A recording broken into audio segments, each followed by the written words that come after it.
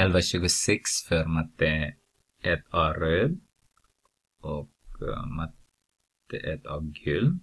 Sen 1125 för matte 1B och matte 1 B, C, books.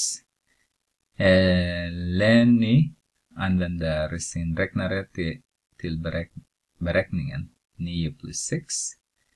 Och sen har vi bråkstreck där, 2 plus 1. Han tycker 9 plus 6 dividerar med 2 plus 1. Vilket resultat visar räknaren? Ska vi titta på vår räknare då? Där är min, min räknare som är avstängd just nu. Okej. Okay. Så, ska vi trycka 9 plus 6 dividerar med eller streck istället 2 plus 1. Sen är det 13 som visar. Vilket fel gör Lenny? Felet uh, Lenny gör är att när man, ska vi skriva här, eh, 9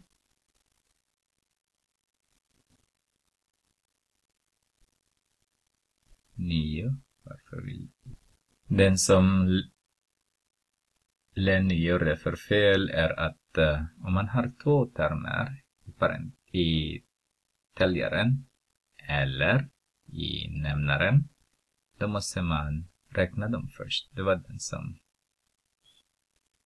uh, jag har påpekat förra gången. Då måste man räkna dem först. Man måste räkna 15 och 3. Och då har vi 5, inte 13 som vi har sett i vår där då.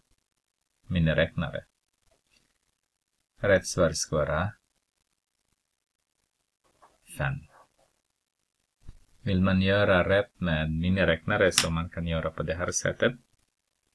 Gör äh, eh, parentes istället. 9 plus 6. Sen parentes. Dividerat med 2 plus 1. Så.